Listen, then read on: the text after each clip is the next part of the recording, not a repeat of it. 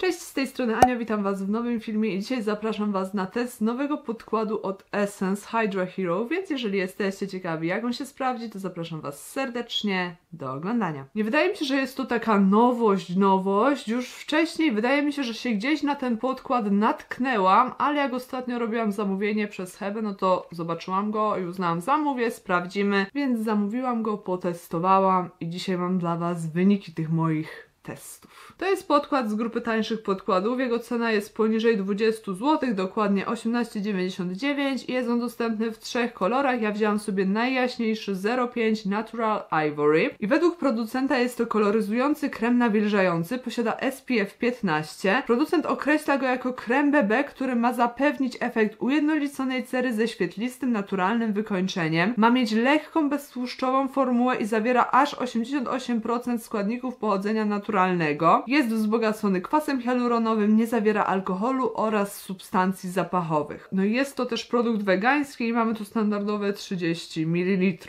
Przejdźmy już sobie do testu. Słuchajcie, zaczniemy od opakowania. Jest ono bardzo ładne, mi się podoba, trafiło w mój gust. No i mamy tutaj zwykłą tubeczkę. Pasuje mi pod lusterko.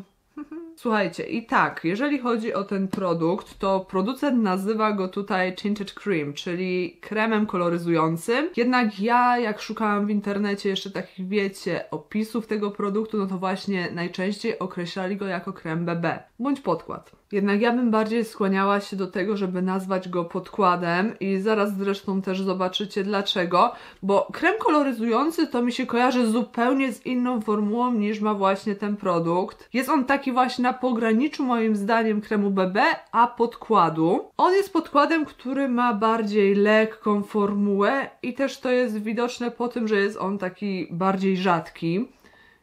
Proszę bardzo. Kolor ma, jak możecie zobaczyć, bardzo ładny. I to, co się rzuca w oczy, to fakt, że się pięknie stapia ze skórą. Ale jak już mamy jakieś większe niedoskonałości, no to niestety ich nie zakryje, ale z wyrównaniem zaczerwienień radzi sobie bardzo dobrze. Ja Wam powiem, że ogólnie ja zawsze bardzo lubiłam podkłady z Essence i nawet na kanale raz zrobiłam, to chyba jeden z pierwszych moich takich testów tych podkładów. Podkład, który jedna z Was mi poleciła, ja to pamiętam, to było tak jakoś na samym początku mojej przygody właśnie z testowaniem podkładów i niestety podkład był zajebisty, ale miał fatalny kolor, bo leciał w taką pomarańczę. Tego filmiku już chyba nie ma na kanale, bo ja go wyrzuciłam, bo, bo mi się nie podobał po prostu. I potem testowałam w sumie jeszcze parę innych, ale takim moim ulubionym podkładem z Essence jest ten podkład Pretty Natural. Zarąbisty podkład. To jak on pięknie wygląda i jak się trzyma na twarzy to 10 na 10. To co mi się rzuca w oczy to, że zaczyna on trochę oksydować i jest zdecydowane odcięcie między twarzą a moją szyją, więc no niestety ciemnieje. Nałożyłam go sobie też na szyję, od razu to lepiej zaczęło wyglądać. I co Wam mogę powiedzieć? Jeżeli chodzi o wykończenie tego podkładu, to tak jak mówił producent, jest ono bardziej świetliste. Na policzkach dosyć dobrze się stopił z cerą, jest taki nieodznaczający się, bardzo ładnie też wyrównał pory.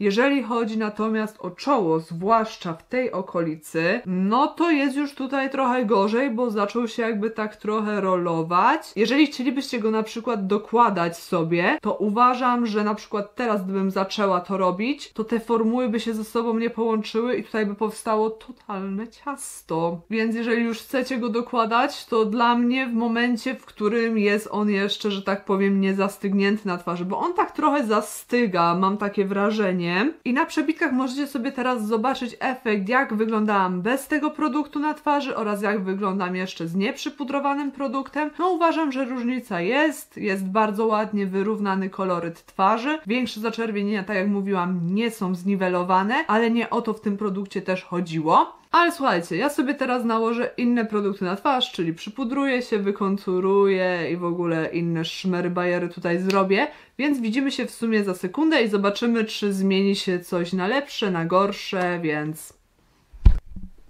Tadam! Wiecie, że część właśnie z tym, jak rękę przykładam do obiektywu, to jest jedna z moich ulubionych części, jak nagrywam właśnie testy. Głupie trochę, ale mnie cieszy. I tak się prezentuje skończony makijaż. Wszystkie inne produkty nakładały się bezproblemowo, ale to, co Wam muszę zaznaczyć, to to, że bardziej je, że tak... Co to był za ruch? że bardziej je wklepywałam niż rozcierałam.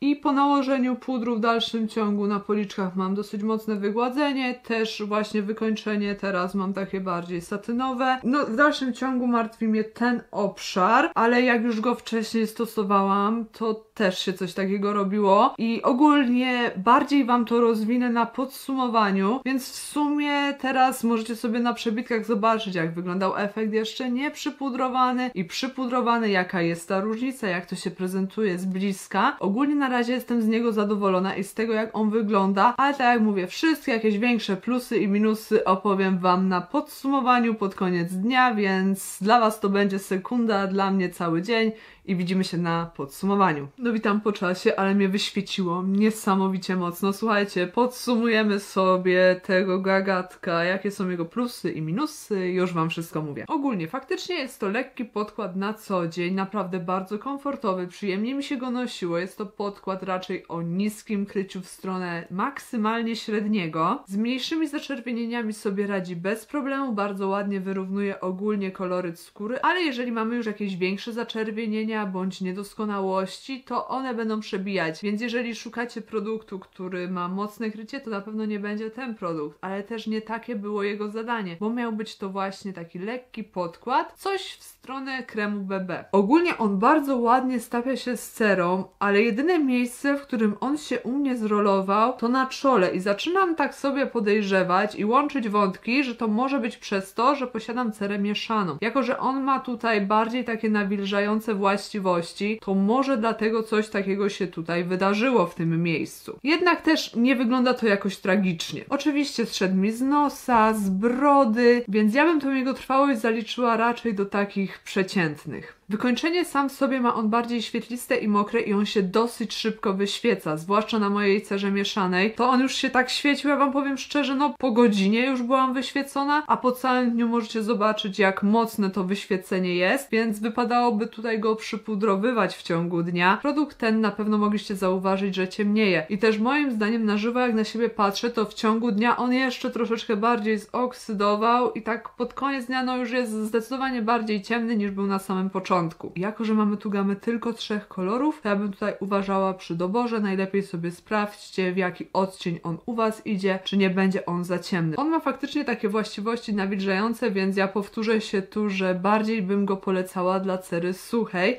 no bo w przypadku mojej mieszanej, bądź w przypadku cery tłustej, no to będziemy się tutaj dosyć szybko przez to wyświecać. jakbym już tak miała podsumować w kilku słowach, na ile oceniam ten podkład, to oceniłabym go na taką trójkę z plusem, jest on spoko, przy mojej cerze ma on pewne minusy, jak to wyświecenie się i to, że się rolował mi tutaj trochę na czole, ale tak poza tym to ani mnie nie zapchał, ani nie powchodził mi gdzieś tutaj w zmarszczki, ładnie wygładzał pory. Myślę, że gdyby nie to, że on mi się tak czasem rolował w niektórych miejscach, to nawet czwórkę bym mu dała ale ogólnie bardziej bym polecała ten podkład może dla osób, które mają cerę normalną i suchą niż dla osób, które mają cerę mieszaną czy tłustą, bo tak jak mówię, tu będzie bardzo szybkie wyświecenie się. Możecie dać mi też znać, czy wy stosowaliście u siebie ten produkt i jak się on u was sprawdził. Czekam oczywiście jak zwykle na wasze opinie. I cóż kochani, z mojej strony jest to już wszystko i widzimy się w kolejnym filmie. Pa pa!